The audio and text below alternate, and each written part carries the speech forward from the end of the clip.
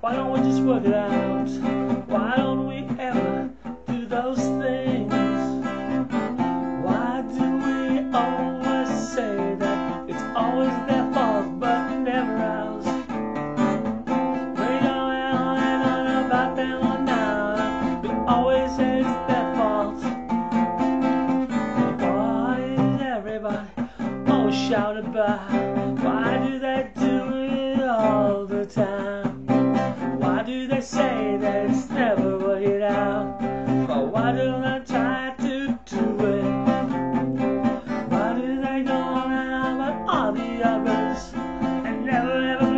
Themselves for it?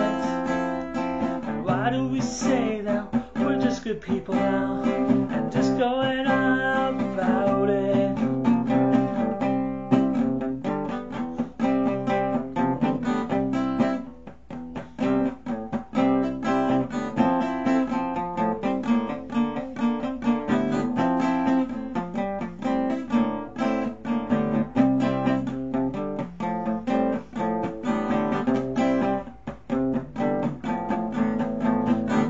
they say that it's never the same that it used to be in the old days? But what were the old days all about?